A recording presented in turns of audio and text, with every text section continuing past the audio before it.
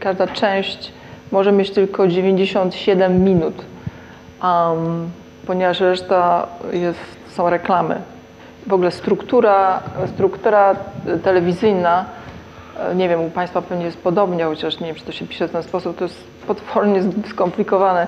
Struktura szczególnie właśnie takiego mm, formatu, ponieważ ma 8 aktów każdy akt musi się kończyć na tak zwanym cliffhanger. Tutaj jest to strasznie skodyfikowane i dramatycznie właściwie trzeba szukać tych, y, każdy akt, pierwszy akt ma 20 minut, y, y, do, do 20 minut, może mieć 15 do 20 minut, także jak gdyby osadza całość historii i kończy się na takim momencie dramatycznym, że który jak gdyby zawiązuje całą, całą tą, tą historię, którą będziemy oglądali.